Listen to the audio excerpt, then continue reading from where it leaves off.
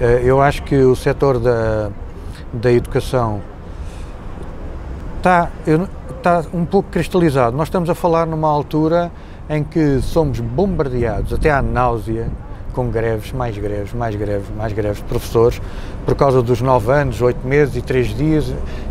Eu não sei se tem razão ou não. Sei é que quem, é, quem paga o preço são os alunos. Depois, eh, considero que é bastante chocante uma classe profissional recusar-se a ser avaliada. E então aí nivelam todos, eh, sendo que o critério que eles eh, gostariam de destacar em matéria de recompensa ou de promoção é o critério do tempo e não o do mérito. Eu não vejo isso nos sítios onde, onde dou aulas, mas custa-me ver esta mentalidade eh, muito sindicaloide e que tem aqui um problema eh, principalmente para os alunos, não é? Porque é uma classe social com claramente eh, classe profissional, perdão, com, com excesso de profissionais.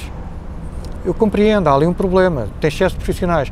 Porém, há, classes profissionais que têm falta de profissionais e seriam tão importantes. Uh, mas isso seria o um mundo perfeito. Por exemplo, estou a pensar em enfermeiros.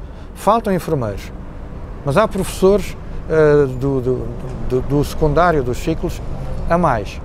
Uh, e depois pressionam muito para, ok, para defender os seus direitos, como é óbvio, isso, isso é normal, é, é natural.